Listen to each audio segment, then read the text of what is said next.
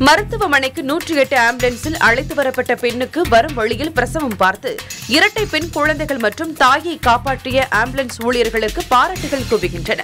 நீலகிரி மாவட்டம் கூடலூர் அருகே உள்ள நாடுகாணி பகுதியைச் சேர்ந்தவர் அன்னபூரணி என்பவர் பிரசவத்துக்காக கூடலூர் அரசு மருத்துவமனைக்கு நூற்றி எட்டு ஆம்புலன்ஸில் அழைத்து செல்லப்பட்டார்.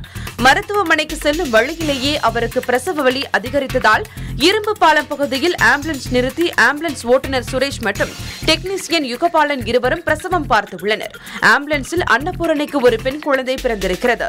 உடனே அன்னபூரணியை கூடலூர் அரசு மருத்துவமனையில் சேர்த்துள்ளனர் அங்கு அவருக்கு இரண்டாவது பெண் குழந்தை பிறந்திருக்கிறது. தாயும் குழந்தைகளும் நலமுடன் இருப்பதாக மருத்துவர்கள் தெரிவித்துள்ளனர்.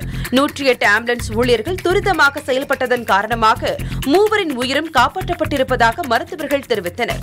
மகளிர் தினமான இன்று இரட்டை பெண் குழந்தைகள் மற்றும் தாயின் உயிரை காப்பாற்றிய நூற்றி எட்டு ஆம்புலன்ஸ் ஊழியர்களுக்கு பல தரப்பிலிருந்தும் பாராட்டுகள் குவிந்து வருகின்றன.